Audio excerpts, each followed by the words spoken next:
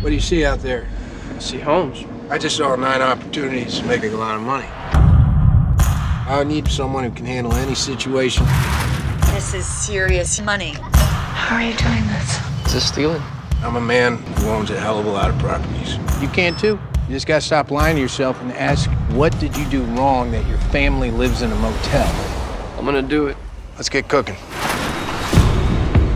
You're gonna have more property than women to fill them with. Whose house is this? I see green skies ahead. The 100 homes.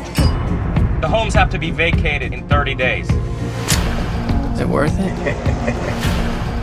Don't be soft. America doesn't bail out losers. I am not gonna leave here! When you work for me, you're mine.